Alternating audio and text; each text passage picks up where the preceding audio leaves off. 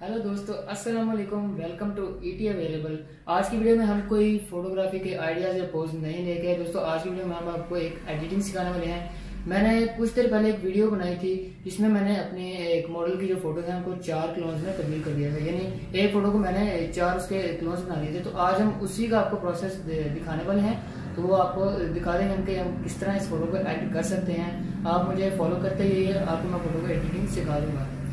तो चलिए।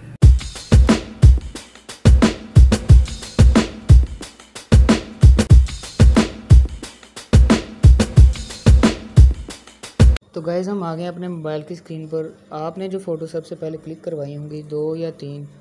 दोस्तों, ध्यान रखिएगा कि इन फ़ोटोज़ को क्लिक करवाते वक्त आपका कैमरा या मोबाइल ज़रा सा भी हिलना नहीं चाहिए। आपने ये फ़ोटोज़ को ट्राईपोर्ट की मदद से अपना या जो मोबाइल है, उसके साथ अपने स्टेबल कर देना है मोबाइल को। तब फ़ोटो जाके आपकी अच्छी आएगी। तो स्नैपसीड ओपन कर लेते हैं। पहली फ़ोटो जो आपकी थी, ये वाली।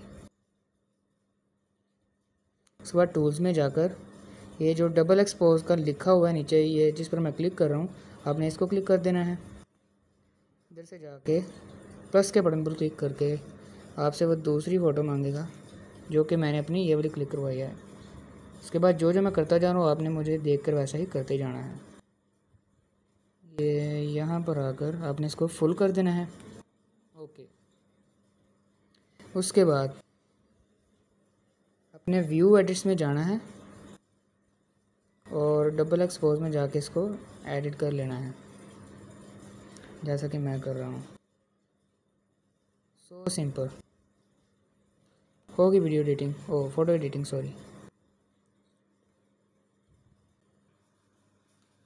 तो वैसे इस सब के बाद मैंने अपनी फ़ोटो को थोड़ा बहुत कलरकेशन कर दिया है। तो कैसी लगी आज की ये वीडियो कमेंट करके ज़रूर बताइएगा और चैनल को सब्सक्राइब कर दीजिएगा वीडियो को लाइक कर दीजिएगा और दबाव में याद रखिएगा। मिलते हैं अपनी अगली वीडियो में। तब तक के लिए अल्लाह हाफिज़।